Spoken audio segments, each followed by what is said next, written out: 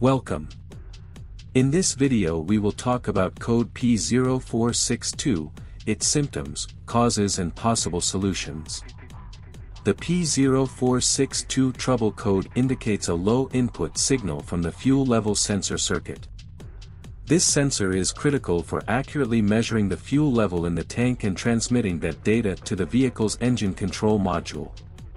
Code symptoms P0462 1. Inaccurate or constantly fluctuating fuel gauge readings, often showing lower than actual fuel levels. 2. Illuminated check engine or service engine soon light on the dashboard.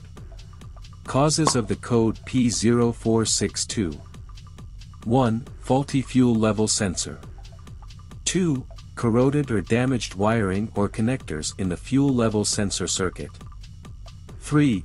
Poor electrical connection between the sensor and the engine control module. 4. Issues with the engine control module itself.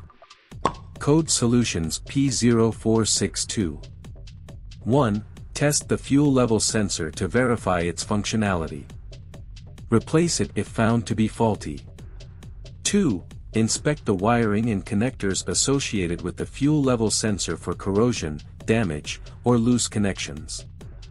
Repair or replace them as needed. 3. Ensure a secure electrical connection between the sensor and the engine control module. 4. Check the engine control module for proper operation.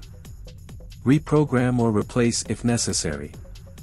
Thank you for watching this video, don't forget to leave a like and a comment, see you next time.